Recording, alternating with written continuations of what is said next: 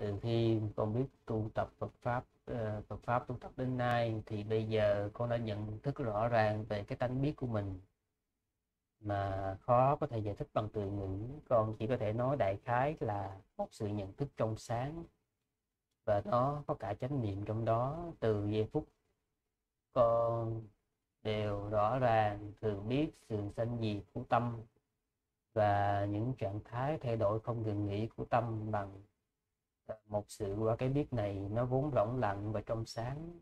Con nghe người khác nói nó là vật tính của mình.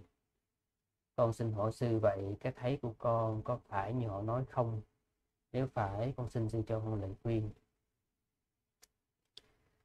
À, cái trách nhiệm của những cái vị thầy hướng dẫn là khi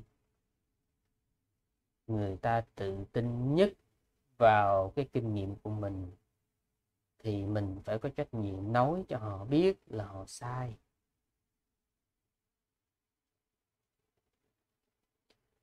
Sư đề nghị cái người đã câu hỏi này á quý vị nên nên à, đi học a tỳ đàm và thực hành tứ niệm xứ. Hai cái. Thứ nhất là học a tỳ đàm để chi? Để biết được tâm là gì cấu tạo của tâm. Có một vài vị họ sợ a tỳ đàm bởi vì a tỳ đàm phân tích tâm nó quá sâu sắc. Mà nếu như mà phân tích tâm đó, nó nó cặn kẽ đến a tỳ đàm đó, thì cái mớ lý thuyết của họ không có chỗ đứng.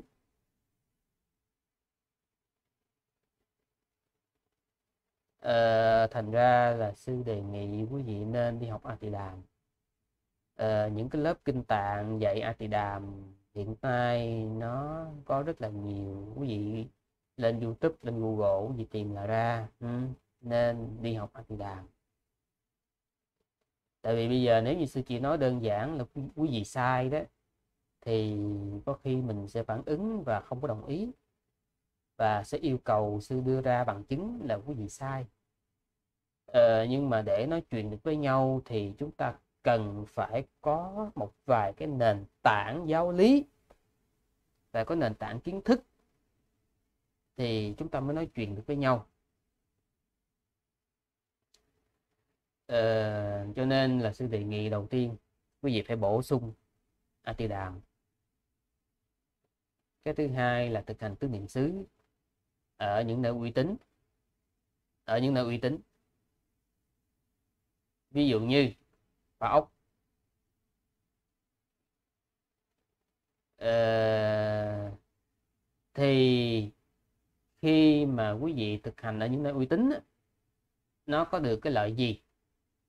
Được cái lợi là quý vị sẽ không bị những cái truyền thống những cái phương pháp tự nhận là tứ niệm xứ nhưng thực tế không phải là tứ niệm xứ.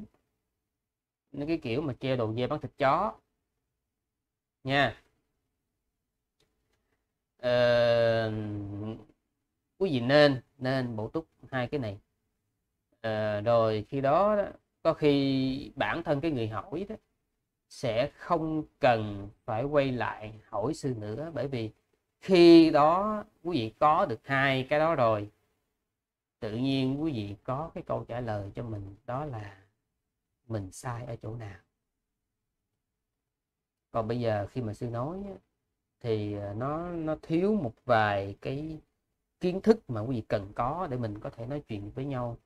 Đầu tiên là quý vị cần phải hiểu được cấu tạo của tâm nó là như thế nào cấu tạo của tâm phải hiểu cấu tạo nó như thế nào? Ờ, cái thứ hai là mình phải thành thật với chính mình. Thấy rõ biết rõ cái gì là chánh niệm.